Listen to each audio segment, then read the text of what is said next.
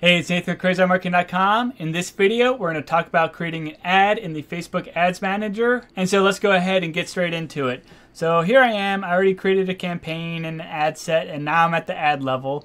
And the first thing we can go ahead and do is name our ad. So you probably want to name it something that's descriptive for that particular ad. Additionally, you could go ahead and create a template. So let me click this option right here. And so if you want to make sure that you're naming your ads in a similar format every single time, a template can be very useful. So you can go ahead and add components here. And you can select some auto-generated ones like campaign field. So you could do advantage campaign budget or objective or campaign ID or campaign name or ad set fields or ad fields. And so this might be useful since you're creating an ad. So if you want all your ads to have like the same name, you could go ahead and do something like format and also we'll go ahead and do headline and then we'll go ahead and do an open text field right here. I can click on this pencil option and then name it something. So manual description and click on the check mark here. And then we could go ahead and select our field separator so you can see that there's a little underscore between the different options I have right here. And so we could select a different icon and then there's also item separator. So this would be between the different items. Like if there's multiple headlines, it would go ahead and separate them with these two colons right here. And so this is fine for demonstration purposes, but templates can be helpful so that way you keep everything consistent across your account. So I'm gonna go ahead and click on save. You can see that it gave me the text field here for the manual, de manual description. And in this case, I'm just gonna write out demo. So that's good enough for me right now. Then we have partnership ads. So run ads with creators, brands, and other businesses. These ads will feature both identities in the header. So if you're doing a ad with a partner of some sort, you could go ahead and flip this on, and then you need to go ahead and enter the partnership ad code. And if you're bothering to advertise with partners, you're probably not watching this video. So I'm gonna go ahead and turn this off right now. Then we need to select our identity. So we have the Facebook page that we're going to be advertising from. So I have my CEM training page. And then you can also go ahead and select your Instagram account, or you could go ahead and use your selected Facebook page as the account. I highly recommend connecting your Instagram account to your business manager. So that way when you're advertising on Instagram, people will see the ad coming from your account, and then they might go over to your account on Instagram and follow your Instagram profile over there. Additionally, it lets people comment on your ads and allows you to respond as well. So it can be a great way to answer questions or get engagement and things like that. So if you're advertising on Instagram at all, you definitely need an Instagram account. Do not use the selected page option. Get out there and create an Instagram account and connect it before you advertise on Instagram. Now, in my particular case right now, this is a dummy account and I don't have an Instagram account selected, but if you have ads on Instagram, run it through your Instagram account. Up next, we have ad setup, so we can go ahead and create an ad, or we could use an existing post, or use Creative Hub Mockup. Now I'm going to come back to creating an ad, but let's click on use existing post real quick. And now I can come down here to add creative and I can select my post. And this will let me select other ads that I've created, but also posts that I have on my Facebook page. So if you want to use a post that you have on your Facebook page, you could go ahead and select it. One of the best ways to do it would be to use the filter by and then go to publish posts here.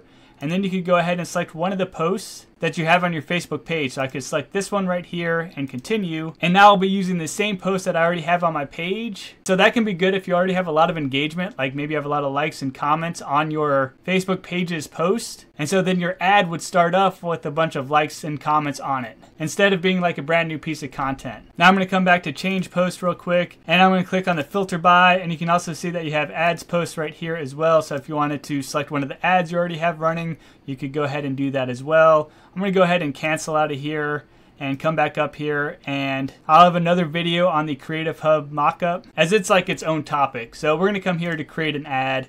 Now we can go ahead and select our creative source. So we have manual upload, and I also have the catalog feature because I've connected my iStores catalog to my Meta business account. So I could use my catalog to generate ads, but we'll go manual upload. And then I have the format right here. So we have single image or video. We also have carousel and we also have collection. And I'm gonna be sticking with single image in this particular video, but I'll have other videos on the video, carousel, and collections option. So link in the description down below if you're interested in those. And then we have multi-advertiser ads and it's recommended. And I always leave this setting on, but if you wanna learn more about it, you can click learn learn more right here and read this description over here. But basically, you can help people discover and compare products and services from multiple businesses. And so somebody might have shown interest in somebody else's product, but then they'll see your product right next to theirs.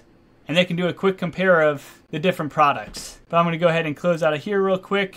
And now we get to the add creative area. So I'm going to go ahead and add my media here. And I'm going to go ahead and add an image. And I've already uploaded an image. So I'm just going to select this one right here and click on next. And now there's several different dimensions that I need to go ahead and crop for. So that way it looks good in all different placements. So we have the original, which is square here, and that's just fine. Then we have stories and reels right here. So we have original, which is recommended, but I think it looks weird being a square image with all this gray stuff on the outside. So I'm to go ahead and click on 9 by 16 and then it zooms in a little bit. I'm going to go ahead and crop this and kind of center it just like that and apply. And then same concept over here with right column. I'm to go ahead and click right here and crop and then I'm going to go ahead and move it so it makes more sense and apply. And then I'll go ahead and click on next. And then it asks if we want to optimize our ad with Advantage Plus Creative. So if you already have a lot of creative or you have a marketing department or a graphics department, then I would go ahead and turn this off because creating custom content for each placement is definitely the preferred way to do it. However, if you only have like one image like I do right here, then it could be helpful to use this Advantage Plus Creative and let Facebook's algorithm figure out what works best. So I'm going to go ahead and turn on all optimizations here and you can see that it gives us different concepts. So we have the original creative and what this will look like in the different placements right here. And then there's a music version. So we can see that there's music playing. And if we don't like that music, we could go ahead and click on change music. And there's a whole library of different songs you could go ahead and listen to and play. Like I'll try this one. Oh yeah, Fun Factory. That sounds good. And you can also see over here in the top right, this affects four different placements. So it affects Instagram Reels, Facebook Reels, Instagram Feed, and Instagram Story. So that's where this song is going to be playing. So anyway, we'll go ahead and click on next and relevant comments over here. So we will display the most relevant comment below your ad on Facebook and Instagram. We have image templates and visual touch-ups and text improvements and so on. So again, if you don't have a marketing department or aren't very creative, this can be a great way to create additional ads and concepts, which may improve your marketing efforts. I'm going to go ahead and click on done now. And so now I can see that Facebook or Meta has created 21 placements that my ads will be shown. I can see a little preview over here and you can see what it'll look like. And we're going to come back up to this in just a minute. I recommend coming down here to this area where we'll enter our text and our headlines and descriptions and so on. And that way we can get a better preview of how our ads will look. So the first option we have right here is primary text, and that's what's going to go above our image. At least for Facebook feeds, that's where that text will go. And it does give us a suggested text variation based off of its super smart AI algorithm. So if you wanted to use it, you could go ahead and click this little plus button right here. And just like that, you have some primary text, but I'm going to go ahead and add one right here. So I have, this is the primary text location, and you can see right now my ad has updated over here to show where the primary text will show up. And as you may notice over here, I can add five primary texts. And so if you have more than one, Facebook will automatically mix and match your different primary text to see which one converts the best. And same concept with like headline and description down here. So if you have multiples of each of these, Facebook will automatically run a bunch of tests by mixing and matching all these different options and figuring out which one works the best. And so I'm happy with the primary text right here. Let's do the headline now. This is the headline. And I could add another option here. Headlines go here.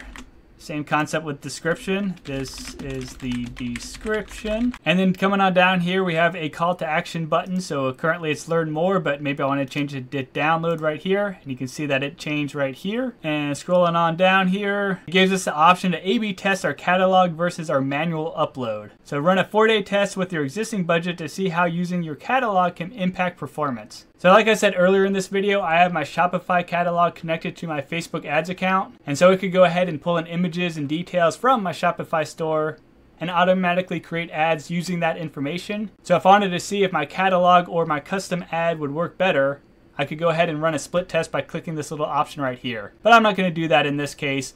But let's go ahead and scroll back up here to the Ad Creative area and talk about these different placements and options that we have. So you can see that there's three different placements right here. So I have feeds, in-stream ads for videos and reels, search results.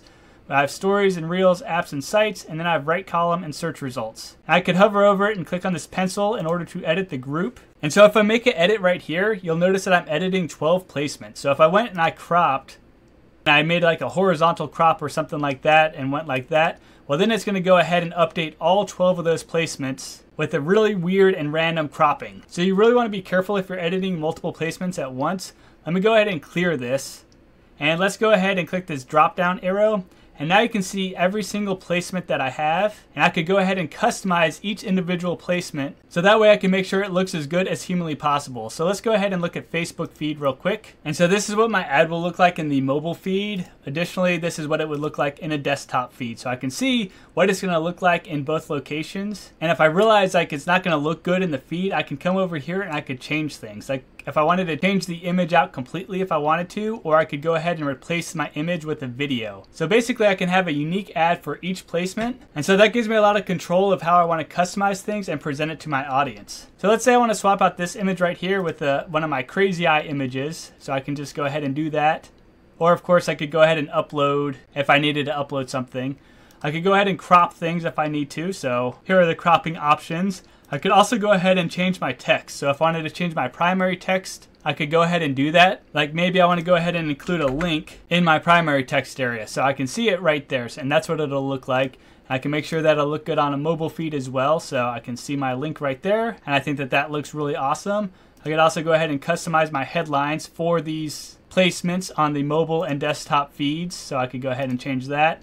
And same concept with destination here. So I could send people that are clicking on my ad from the feed to a certain website URL. And when you're happy with everything, you can just click on save. And now you can see right here that my Facebook feed image has changed to the eyeball instead of this guy holding a book. So same concept for all the placements then. So in stream for videos, let's go ahead and click on edit here and see what this looks like. So I have this right here. If I click play, it's just like a little zoom feature. But what I may want is a custom video, so I could go ahead and upload a video instead of just this random zoom on my image. And again, I could go ahead and edit my text and headline and everything else to make sure everything looks good in this particular placement. And so we can see also where this is going to show up. So Facebook, InStream, banner, mobile, and Facebook, InStream, banner, desktop. So you can make sure everything's going to look good. And I'll go ahead and close out of here. The point is you want to go through each of these placements and ensure that your ads look good. Now there's a quicker way than going like one by one, clicking the pencil. Of course, you can see a little preview over here, but also you could go ahead and click on advanced preview right here and you can quickly see how your ads will look in all the different locations. And you can just quickly browse through here and see if anything's cut weird or is going to look weird in the different placements. And so let's say that you find a location that it just doesn't look good like no matter what you do.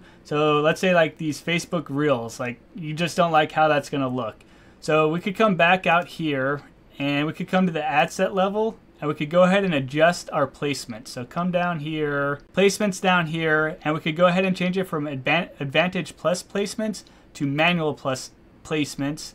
And we could go ahead and go to Stories and Reels. And we could go ahead and click on this little arrow next to Stories and Reels. And we could go ahead and turn off Facebook Stories and Facebook Reels because when we did our little preview, we realize that our ad's not going to look good in those locations and we're not going to go out there and create a brand new ad to fit those different locations so we might as well just turn them off otherwise we're going to have funky showing ads and you know that's just kind of a waste of money. So i just wanted to point that out. If you find placements where your ads look bad make sure you come back here to the ad set level and you turn off those different placements so you're not throwing money down the drain.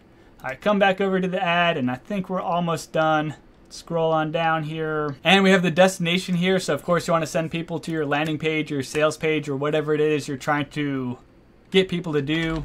And you could go ahead and click on preview URL as well to make sure that it loads correctly because you definitely don't want to spend money sending people to a place that doesn't actually exist. And it looks like my link is working, so that is good. And you can also edit your display link a little bit, but don't get too crazy with this because Facebook won't let those ads run if you do something weird. So in my case, I could do crazyeyemarketing.com slash YouTube, and that should work. Like as you can see over here, it says crazyeyemarketing.com slash ute, and so that'll work. But if I put something weird in here, weird stuff, well then it's going to give me an error message. So you have to put like an actual link in there in order for it to display. Or if you leave it blank, it'll just use your root domain. And then there's some additional options like for a call. So I could add a call button on your website. And if you hover over this little eye, you can see how that works, but I'm not going to cover that in this video. There's also instant experiences and Facebook events which are topics on their own. And I'll have additional videos on these different features.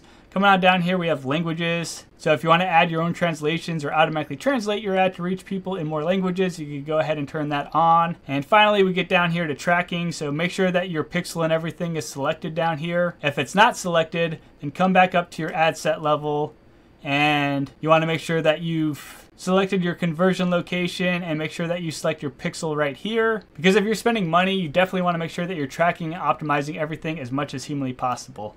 Let's come on down here and scroll back down. And then there's also app events or offline events. And if you have these, you could go ahead and tick these blocks. And finally, there's URL parameters. So if you have tracking software, or if you're using Google Analytics, for example, you can plug in URL parameters for your different ads so that way you can have better tracking for which ads are delivering the results. But that's a bit advanced and beyond the scope of this video. Anyway, when you're happy with your ad, you would just come over here and click on the publish button and your ad will go through the approval process. But once it's approved, it'll start running and hopefully generate you millions and millions of dollars. And that's pretty much it for this video. Hopefully you found it helpful. If you did, I appreciate sorts of likes, comments, subscribes, and or check out crazymarketing.com. And I hope you have a great rest of the day.